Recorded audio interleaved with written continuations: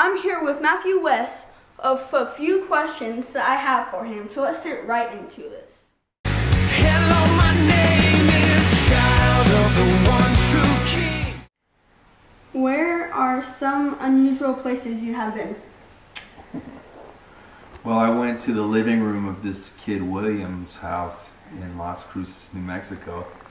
That was pretty unusual, but in a good way.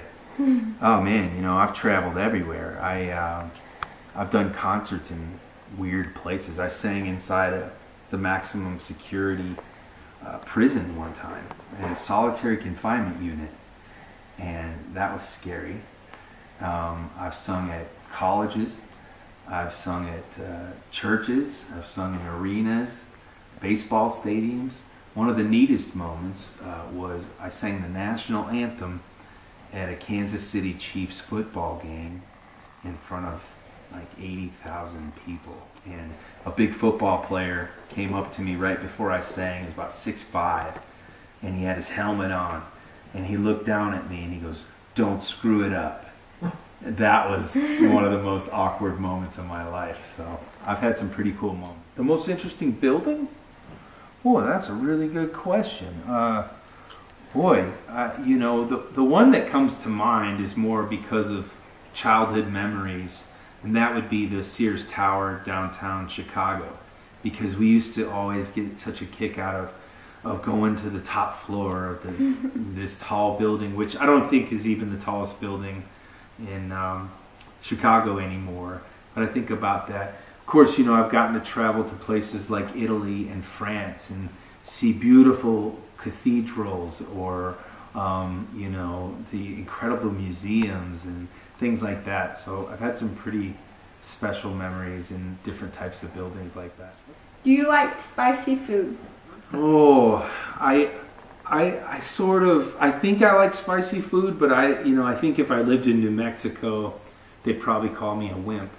So I, I think I, I think I'm more prefer mild food. Like I like Mexican food, Tex-Mex, mm-hmm. but more mild.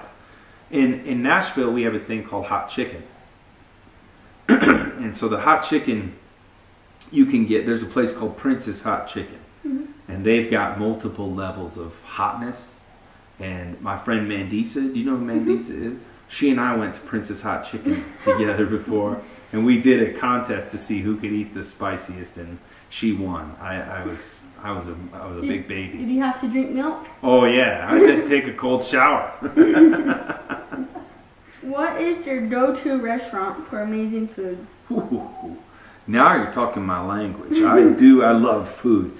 You know, sometimes I get to go to New York uh, on my trips, and New York has some of the best restaurants. But there's an old school steakhouse in New York City. There's so many, but one of my favorites is like it's called Smith and Wollensky. And the reason why I like it is because you can go there at like two in the morning, and it's open. And now in Nashville, where I live, everything closes at like 10 o'clock, mm-hmm. sort of.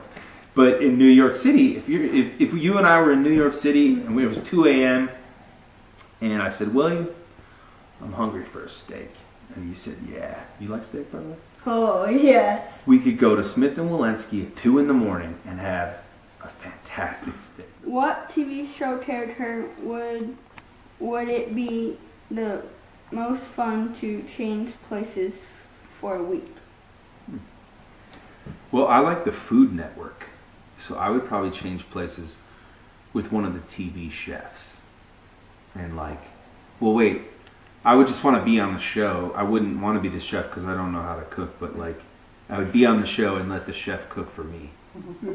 But I would be on, I'd like to be on one of those Food Network shows. That sounds good. Yeah, oh man, I get so hungry watching them make steak and stuff like that. Oh yeah.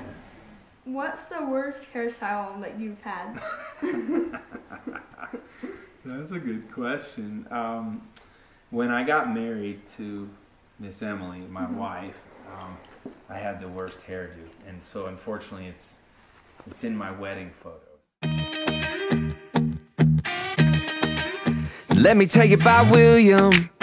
He's been fighting battles since day one. The doctor said Uh, hello, I'm Matthew West, and I approve William using my music.